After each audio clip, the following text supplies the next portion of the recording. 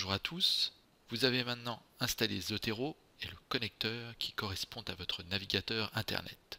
Si ce n'est pas le cas, reportez-vous à la vidéo précédente dans la playlist. Désormais, dans votre navigateur, vous avez une nouvelle icône qui apparaît à droite de votre barre d'adresse. Par défaut, elle ressemble à une petite feuille imprimée, et si vous cliquez dessus, Zotero va vous proposer de sauvegarder la référence de la page web sur laquelle vous êtes en train de naviguer. Ah bah, ça ne marche pas, Zotero is offline et oui, avec la nouvelle version 5 de Zotero, pour que l'importation fonctionne, il faut que le logiciel Zotero soit lui aussi ouvert en même temps que le navigateur.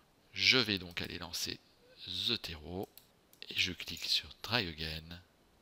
Mais le plus intéressant, c'est quand vous serez sur une page contenant des références de documents. Zotero va les détecter et l'icône changera en fonction du type de document repéré.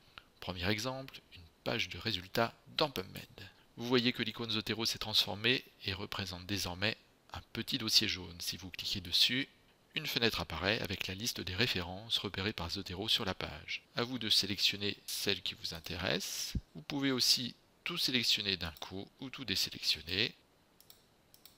Et une fois que vous avez fait votre choix, vous cliquez sur OK. Petite fenêtre rouge apparaît en bas à droite Zotero vous dit qu'il travaille, qu'il est en train d'apporter tant de références, et surtout à quel endroit il les sauvegarde. Par défaut, c'est dans ma bibliothèque. Mais si vous avez laissé une collection ouverte, c'est là qu'il va envoyer les références. il se souvient de la dernière collection ouverte même quand vous fermez le logiciel.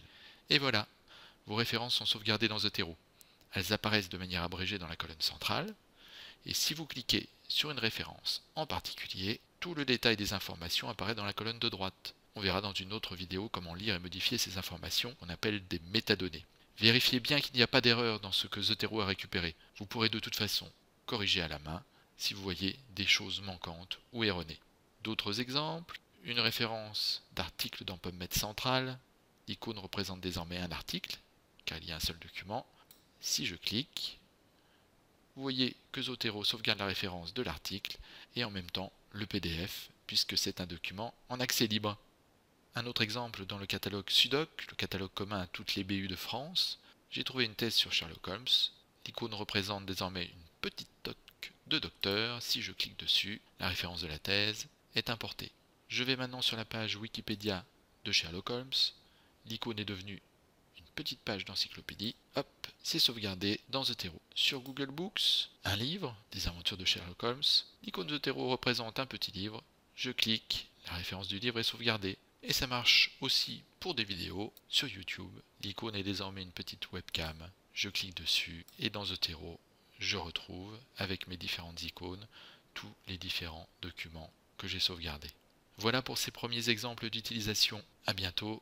Ciao. Salut Thank you.